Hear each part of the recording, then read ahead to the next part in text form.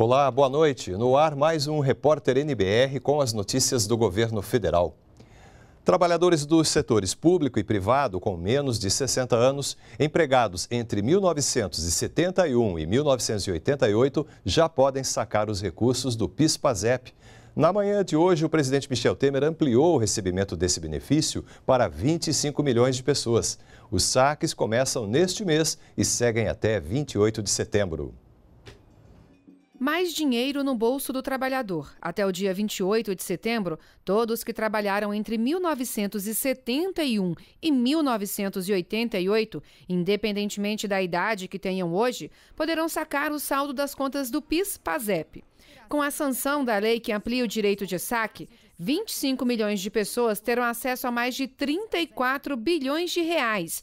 16 milhões de beneficiários têm menos de 60 anos de idade. Nós estamos falando de contas que estão sem movimentação há 30 anos, desde 1988, que têm os seus valores corrigidos, mas que é, só eram sacadas em condições bastante restritivas, como eu mencionei, para quem tinha mais de 70 anos, quem era acometido por uma doença grave, já estava aposentado ou tinha uma situação de invalidez.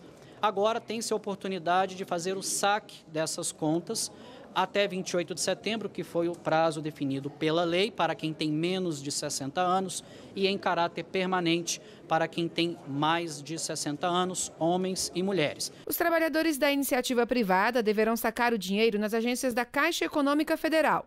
Já para os servidores públicos, o dinheiro estará disponível nas agências do Banco do Brasil.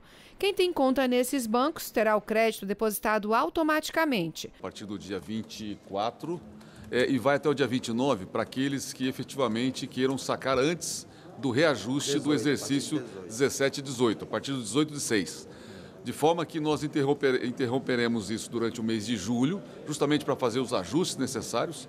E a partir do dia 8 de agosto, a gente faz o crédito em conta corrente daqueles que, porventura, tenham conta no Banco do Brasil e na Caixa Econômica. E a partir do dia 14 de agosto, nós já começamos os pagamentos nas agências bancárias, tanto do Banco do Brasil quanto da Caixa Econômica. Antes de ir à agência, o trabalhador pode saber se tem direito ao saque consultando a página dos bancos na internet. No caso do Banco do Brasil, também é possível fazer essa consulta nos terminais de autoatendimento. Caso o titular da conta tenha morrido, os herdeiros poderão receber o recurso. Desde o ano passado, o presidente Michel Temer vem reduzindo a idade mínima para saques do PIS/PASEP. Até maio de 2018, 3 milhões e 600 mil pessoas sacaram 5 bilhões de reais. Antes disso, os saques só podiam ser feitos por quem tinha mais de 70 anos, se aposentava ou ficava inválido, por exemplo.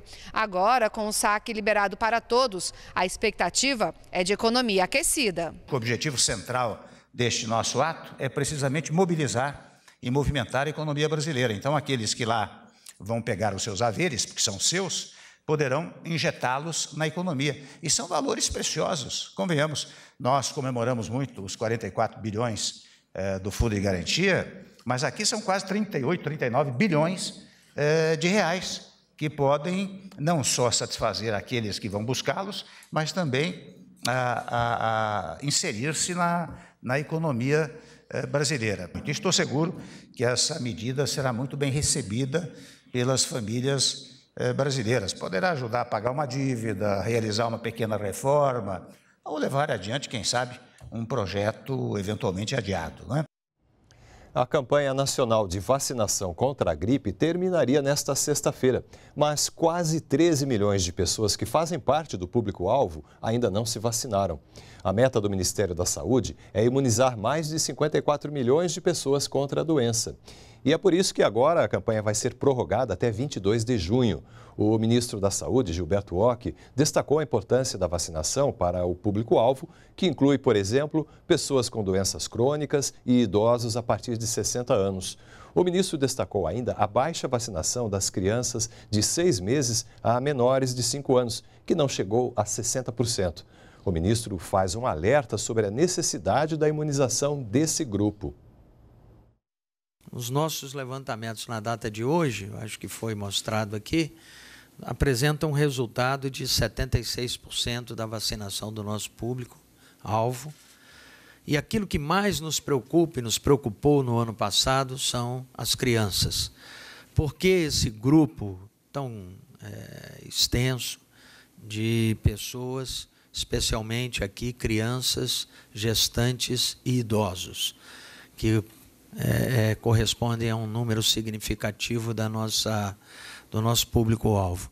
Porque essas são as pessoas com uma, uma imunidade menor do que as demais. Então, as crianças até 5 anos, de 6 meses a 5 anos, e os idosos acima de 60 anos, eles têm essa imunidade é, mais reduzida e isso exige uma prevenção cada vez melhor através da vacinação.